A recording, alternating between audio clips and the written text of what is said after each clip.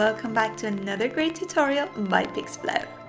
In this video, I will show you how to use the FX Master Pack in Premiere Pro to make the super cool scene for your motion videos, commercials, or social media videos. So let's dive in. Before we start, let's do a quick recap of the FX Master Pack installation process. The first thing we do is to extract the downloaded zipped archive. After the extraction process completed, open the folder. As you can see, there are two versions of the FX Master Pack, one for After Effects and the other for Premiere Pro. Also, there is a short video tutorial of the pack, which is really helpful. Now let's check out inside the Premiere version of the pack. Inside the folder, there are many incredible and useful categories, such as explosions, fire, smoke, transitions, and many more. And inside each categories folder, there is a MOGRT and an MP4 file of each element. Now let's create together the scene shown at the beginning of the video.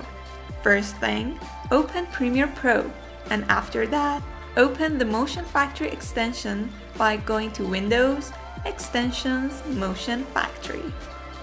For more information on how to download and install the Motion Factory extension, be sure to check out our Motion Factory installation video on our YouTube channel. Let's get back to our project. In the first step, I will import the FX Master Pack into the Motion Factory extension. Click on this blue Import button on the bottom right corner of the panel.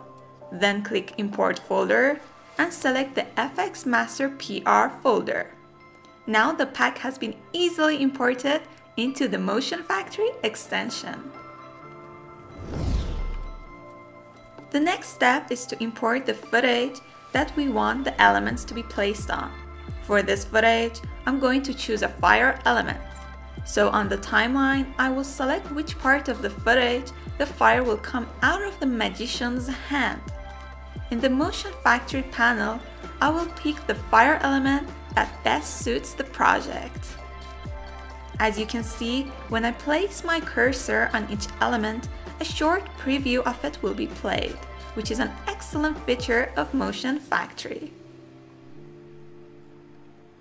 After I have chosen the fire element, I will drag and drop it onto the timeline and place it at the point of the footage that the fire will come out of the subject's hands. Now, I will adjust the element by changing its scale, position, and rotation, and adding keyframes for each frame. In this section, I will cut the fire, and you can do this by selecting the razor tool or hit C on the keyboard. Great, now let's choose and place an explosion element onto the timeline and adjust it.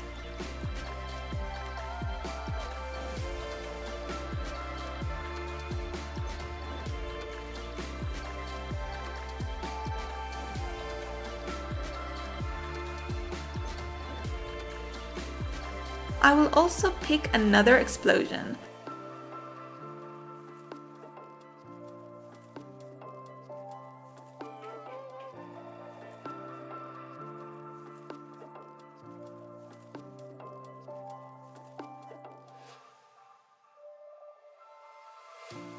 adjust it and mask this part of the element.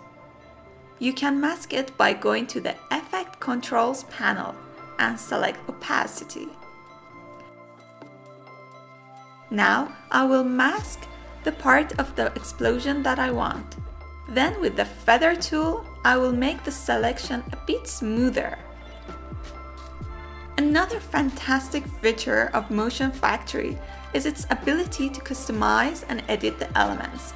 For example, the pixelate option gives you the ability to pixelate the elements, which is pretty cool and handy for 16 and 32-bit games. The grid and drag options are great for deforming an element, mostly in After Effects. And you can change the element's colors too. You can also change element settings in Windows, Essential Graphics, But why not have Motion Factory to make this process much easier and faster? Now I want to add a text to my project and you can either choose type tool or hit T on the keyboard and add text onto the project. You can simply edit the text in the Essential Graphics panel, such as the font style, color, and font size. To animate the text, I will first place the anchor point in the center of the text and then change its scale and position. Then cut and delete the part of the text layer which I don't need and after that place it under the other layers.